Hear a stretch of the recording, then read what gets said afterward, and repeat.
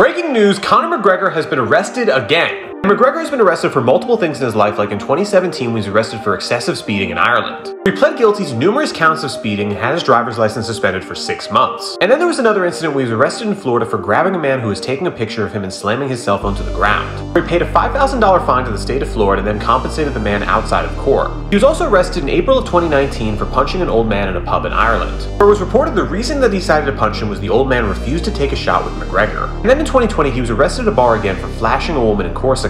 So charges were dismissed eight months later and he settles with a woman out of court. He's also been under investigation since 2018 from the Ireland police due to sexual assault claims. He was also arrested in 2018 for trying to destroy a bus in Brooklyn, but they released him on a $50,000 bail and the charges were eventually dismissed.